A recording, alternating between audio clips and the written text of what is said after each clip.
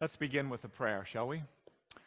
Oh God, on this day of Pentecost, we pray for your Spirit to offer us new and fresh interpretations of your word and wisdom for this coming week as we walk the journey with Christ, in whose name we pray. Amen. When my kids were young, we used to try to impress on them the, the importance of the past, to have a sense of history, of those who had gone before them. Now, this was not hard for me because I have always been a bit of a history buff. So we would take our kids to certain historical sites and places within our country. For example, we visited the Citadel in Halifax. We visited Grand Pre National Park in Nova Scotia, where the expulsion of the Acadians happened. We visited the Plains of Abraham in Quebec City and Parliament Hill in Ottawa. And when we lived in Montreal, we used to make trips down to Old Montreal, and we would visit places like St. Joseph's Oratory and Mount Royal. And I remember on one occasion, we even went to a St. Jean Baptiste Day parade and learned about French culture. Although I must say, we did not wave any Canadian flags on that parade, the, fleur de lis only. And then um, here in, uh, in Toronto, we visited places like uh, the CN Tower, the Science Center, the Hockey Hall of Fame, of course. We even visited the Big Apple once. I'm not talking about New York City. I mean the Big Apple out near the 401 in Cobourg, you know the one. You've been there. It has the great apple pies. Well, the thing about all these places is they carry significance in the life of our nation and in the life of the world in many cases. They are special places to us. And I don't think it is too much of a stretch to move this into the spiritual realm. Um, and I have to tell you, my, my kids didn't always appreciate these places that we took them. I, I, I forgot this one. At one time, we, we visited, we were on the way to Florida. And I've always been a Civil War buff, so I took them into this Civil War battlefield and museum. They were not impressed, but I enjoyed it. I had a good time. But when you move this into the spiritual realm, you discover that all of us have these places that are important and significant in our Christian journey. Places perhaps where we have felt closer to God at times. The old Celtic Christians called them the thin places. And the scriptures are full of these places. Think about Jacob out in the wilderness. And if you remember the story, he has that dream of the ladder extending from heaven to earth and the angels ascending and descending. And when he wakes up, he says, How awesome is this place? This is none other than the house of God and the gate of heaven. Or there's Moses, who is at the burning bush and he, he senses, senses it's holy ground and he takes off his shoes. Or there's Elijah out in the wilderness experiencing the, the earthquake and the wind and the fire, but he doesn't see God in any of those. He, he feels God in the still small voice. And Isaiah in the temple, he, he sees God high and lifted up. Even Jesus experienced sacred spaces in his own life. On the Mount of Transfiguration, his glory was revealed to him before his disciples. Now, down through the centuries, the church has even, even named some of these places after great saints. But it's interesting to note that after the Reformation, a lot of Protestants took a more rationalistic approach. They would say things like, well, one piece of ground isn't more holy than another. All ground is holy God is everywhere, is he not? And while that is true, I think we will all admit there are some places that carry greater significance for us than others, places where we have truly felt the presence of God. Today is Pentecost Sunday, and I'm sure that for those early believers on the birthday of the church, that day of Pentecost was holy ground for them as they sense the Spirit of God coming in their midst as the helper. Our Old Testament lesson for today is a story in the life of the Israelites where they believed God was their helper as well, his Spirit, and it's a kind of holy ground for them. And Samuel even sets up a memorial and calls it Ebenezer. Thus far, the Lord has helped us. Robert Robinson was an 18th century English hymn writer. And Robinson had a very difficult upbringing. His father died when he was very young. He was sent off to London to learn the trade of being a barber, but he fell into a life of gangs and violence in his teens. And on one occasion, he went with a group of his friends to hear the famous English evangelist George Whitefield. But they went not because they were interested in hearing him, they wanted to ridicule him. But while they were there, Whitefield's words somehow spoke to Robinson, and he made a commitment of faith. And at the age of 23, he decided to go into the ministry. And around that same time, in 1758, he wrote his most famous hymn Come, thou fount of every blessing. But you know, Robinson continued to struggle with a life of sin. He struggled with depression and with backsliding in his faith. And in one of his darkest moments, he was, he was riding one day in a stagecoach, and there was a lady sitting across from him who had a hymn book opened, and she was humming a tune. She could, he, Robinson couldn't believe it. It was the very hymn he had written years before Come, thou fount of every blessing. And this lady, who didn't even know Robinson, looked at him and said, Sir, what do you think about this hymn? Do you like it? Robinson said, Madam, I am the unhappy soul that wrote that hymn many years ago, and I would give anything today to feel like I did back then. I would give anything.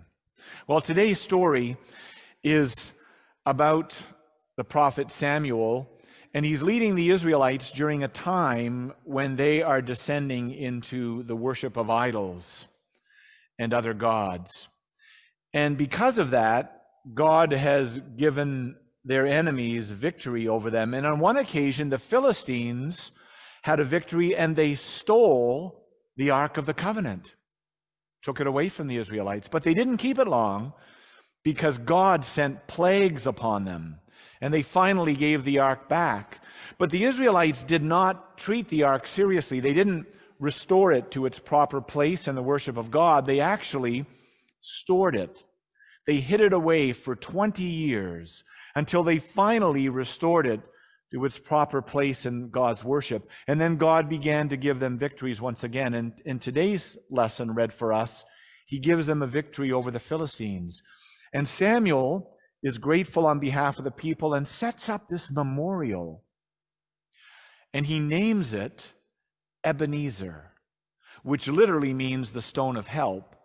But he says, Thus far the Lord has helped us. And it was a reminder to the ancient Hebrews that they did not gain any victory themselves. God was the one who was in charge, God was the one who was their true helper. Now, on this Pentecost Sunday, we are reminded about how God leads us in the Spirit.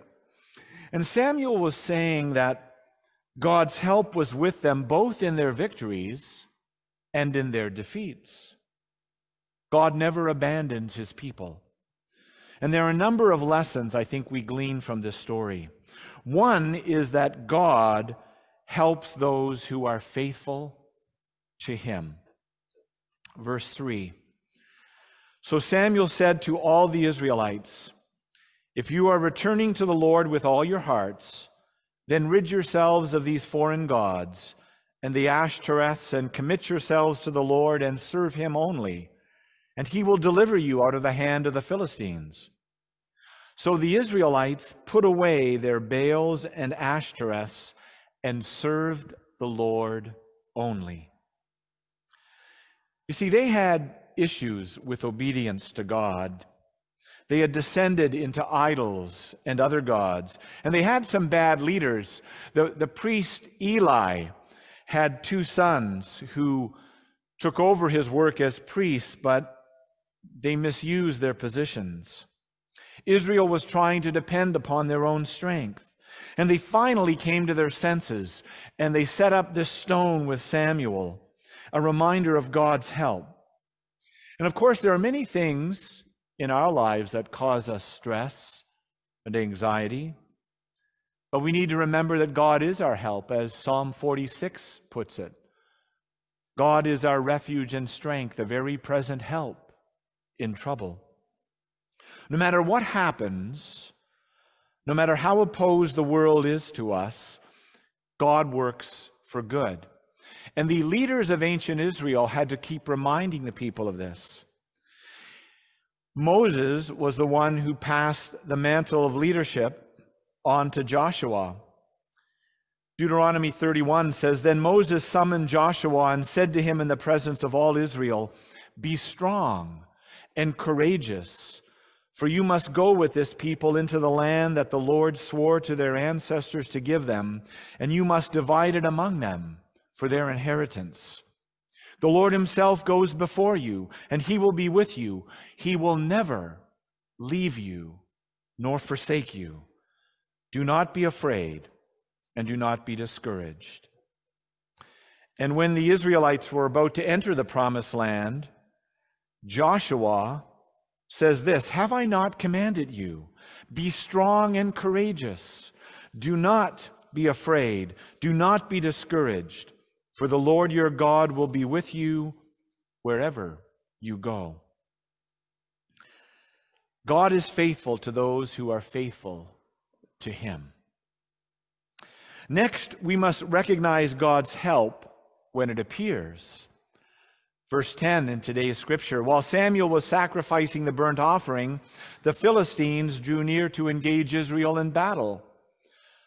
But on that day the Lord thundered with loud thunder against the Philistines and threw them into such a panic that they were routed before the Israelites. You know, we often look for miracles from God. We, we desire signs and wonders, and we are often disappointed. Because you see, most often God works behind the scenes. He works through the natural order and through people and through circumstances. He helps us by giving things and sometimes by taking things away. Samuel had to challenge the Israelites to put away their idols and serve the Lord and discover their true help. And he names this memorial Ebenezer, which in Hebrew literally means the stone of the help. God is the great helper. He does not forget his people. We all have certain Ebenezers that remind us of where our help comes from. These could include a hymn, a song, a Bible verse, a picture, a mentor, a sacred place.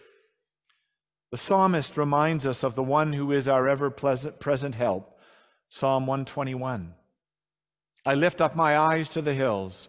From where does my help come? My help comes from the Lord, who is maker of heaven and earth. Next, it is important to mark the place where God has helped you to remember his goodness. Verse 12 from our scripture. Then Samuel took a stone and set it up between Mizpah and Shen. He named it Ebenezer, saying, Thus far the Lord has helped us. I think it's always important to remember how God has helped us in the past, and future generations need that. And we need today to be able to celebrate important milestones and anniversaries in our lives, and they should be high on our list of things, even in the church. We should always be celebrating things like baptisms and child dedications and welcoming new members into our midst. We need to hear the testimonies of how God is working among these people. What is your Ebenezer today? What holds meaning for your faith? You will remember the famous novel, A Christmas Carol. And Charles Dickens named the central character of that story Ebenezer. And maybe he had a double meaning in mind. What began as a negative became a great positive. An unredeemable miser finds redemption. In many ways, this is our story in Christ, finding our Ebenezer that turns us back to God. In Scripture, the Holy Spirit means helper, comforter, advocate. A week and a half ago, I had the privilege of attending a preaching festival, and it gathered pastors and preachers from all across parts of North America, from many different denominations. And I have to tell you, it was a little bit like a, a kind of modern day Pentecost, where the denominational barriers were all broken down, and we all gathered together for one purpose to discuss this particular theme about preaching. Preaching hope in a weary world. Preaching hope in a weary world. And that, my friends, is really the message of Pentecost. The Apostle Paul put it this way Forgetting what lies behind and straining forward to what lies ahead, I press on toward the goal to win the prize for which God has called me heavenward in Christ Jesus. Sometimes we tend to beat ourselves up because of mistakes from long ago. But we need to remember God, the one who is our help. We need to set up our Ebenezer stone, whatever that is, as a reminder that we are forgiven, that we have chosen a new direction, that God has made a covenant with all who put their faith in Christ.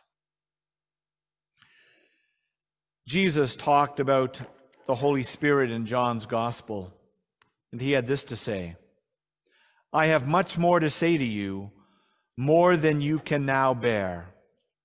But when He, the Spirit of truth, comes, He will guide you into all truth. He will not speak on His own, He will speak only what He hears, and He will tell you what is to come. He will glorify me because it is from me that He will receive what He will make known to you. All that belongs to the Father is mine. That is why I said, The Spirit will receive from me what he will make known to you.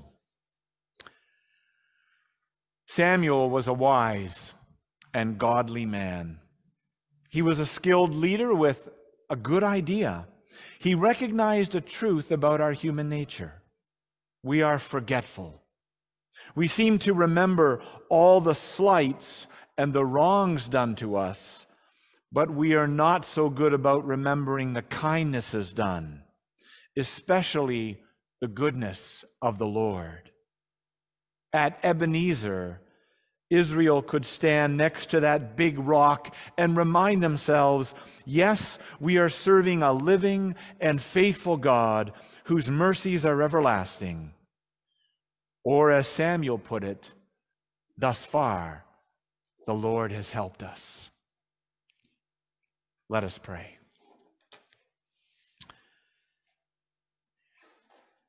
Oh God, today we contemplate the sacred spaces of our experience. We think of the places where we have felt your presence most strongly, places where we have sensed the work of your Holy Spirit, breathing into us the life of Pentecost. May we continue to cherish those places and may they inspire us to greater service. Today we raise our Ebenezer. Thus far the Lord has helped us. Remind us of our vision this day, O God, to be changed through Jesus in community and to engage like Jesus in our world. So send us forth to remember who we are in you, O Lord. For you are our help and our strength, our Ebenezer. Thanks be to God. Amen.